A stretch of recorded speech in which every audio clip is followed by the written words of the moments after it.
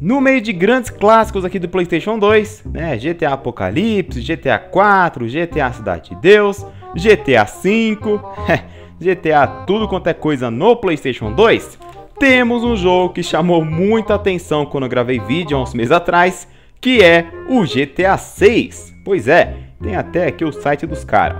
Se tem o site dos caras, é porque o jogo é oficial, não é verdade? Por que não testar aí no PlayStation 5?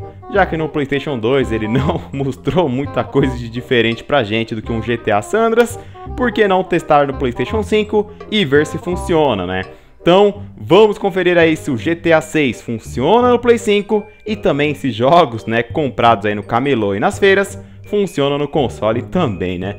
Vamos fazer esse teste.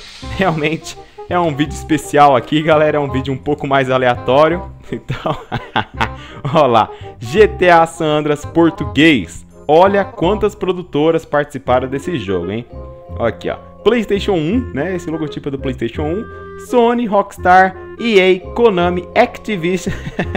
Tudo para fazer o GTA San Andreas português, que na verdade é o GTA 6. Olha só, não tem erro, cara, não tem erro. Então, vamos colocar aqui e fazer esse teste, né? Se bem que coloquei no lado errado. Vixe, agora que não vai funcionar mesmo. Vai até explodir meu videogame.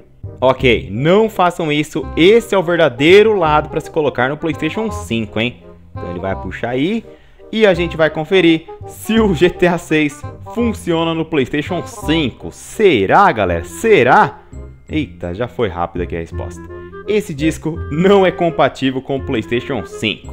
Pois é, Infelizmente, a gente ficou sem testar aí o GTA 6, né? É uma pena. Vamos avisar o Gigaton aí que infelizmente não foi dessa vez.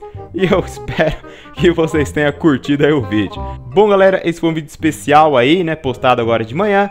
Pra avisar que daqui a pouco, né? Às 5h45, teremos um vídeo sério testando jogos de Playstation 1, Playstation 2, Playstation 3 e Playstation 4, né? Que a gente sabe que vai funcionar no PlayStation 5. Então, confira aí a retrocompatibilidade do PlayStation 5 já já no canal. Porque infelizmente esse daqui não funcionou, né?